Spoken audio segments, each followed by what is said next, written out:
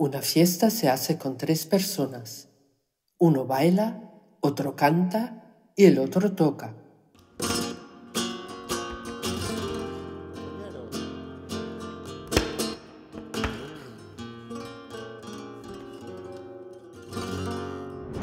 Me dice el trigo, dice el trigo, que está con la mamá.